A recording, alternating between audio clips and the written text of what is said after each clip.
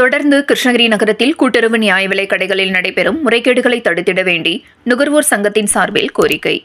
கிருஷ்ணகிரி நகரத்தில் உள்ள கூட்டுறவு நியாய விலைக் கடையின் சம்பந்தமில்லாத நபர் விற்பனை செய்து கொண்டிருந்ததை மாவட்ட வழங்கல் அலுவலர் கீதாராணி அவர்களுக்கு ரகசிய தகவல் கிடைத்ததை அடுத்து குடிமைப் பொருள் வழங்கல் தனி வருவாய் ஆய்வாளர் சதீஷ் அங்கு சென்று பார்த்ததில் வேறு ஒரு நபர் பொதுமக்களுக்கு பொருட்களை வழங்கியதை அடுத்து சம்பந்தப்பட்ட நபரை வெளியேற்றினார்.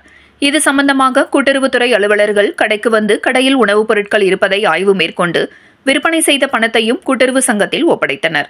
இது சம்பந்தமாக நுகர்வோர் சங்க மாநில பொதுச் செயலாளரும் முன்னாள் மாவட்ட பொது விநியோக திட்ட ஆலோசனை குழு உறுப்பினருமான டாக்டர் சந்திரமோகன் கூறுகையில் மேலும் இதுபோன்ற நடவடிக்கைகள் தொடராமல் இருக்க அடிக்கடி ஆய்வு செய்து இதுபோன்று விற்பனையாளர்கள் ஆள் மாறாட்டத்தை தடுத்திட வேண்டும் எனவும் சிறப்பாக செயல்பட்டு வரும் நமது மாவட்ட ஆட்சியரின் வழிகாட்டுதலின்படி உரிய நடவடிக்கை எடுத்திட வேண்டும் எனவும் மாவட்ட வருவாய் அலுவலர் அவர்களுக்கு பொது விநியோக திட்ட அலுவலர் அவர்களும் நுகர்வோர் சங்கத்தின் சார்பில் கோரிக்கை விடுத்துள்ளனர்.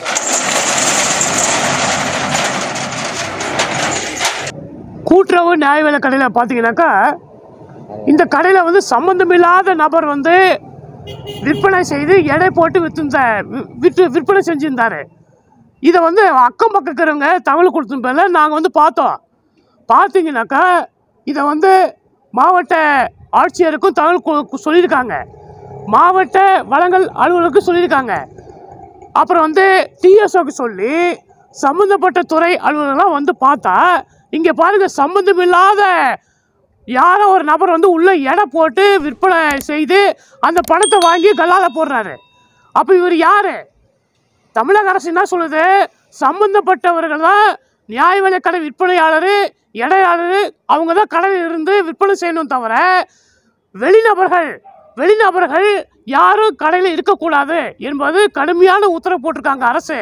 அதே போல் நம்முடைய கிருஷ்ணகிரி மாவட்ட ஆட்சியர் அவர்களுக்கு கூட மாதந்தோறும் கூட்டம் நடத்தி சம்பந்தமில்லாத கடை யாரும் இருக்கக்கூடாது இருந்தால் கடும் நடவடிக்கை எடுக்கப்படும் சொல்லி மறு அதுக்குரிய மாவட்ட ஆட்சியர் சரியோ அவர்கள் உத்தரவிட்டிருக்காங்க. அந்த உத்தரவை கூட மதிக்காம அந்த சேல்ஸ்மேன் வந்து கடலை இல்லாம அவர் எங்கேயோ ஊட்டி கொடைக்கானலுக்கு போயிட்டாராம். ஊட்டி கொடைக்கானல் போயிட்டு இவரு ஒரு ஆளை வச்சு இங்க வந்து சேல்ஸ் பண்றாரு. இது சம்பந்தமா உரிய நடவடிக்கை எடுக்க வேண்டும். உங்கள் பகுதி செய்திகளை உடனுக்குடன் தெரிந்து கொள்ள கிறிஸ்டிவி தமிழ் சேனலை சப்ஸ்கிரைப் செய்யுங்க லைக் பண்ணுங்க ஷேர் பண்ணுங்க.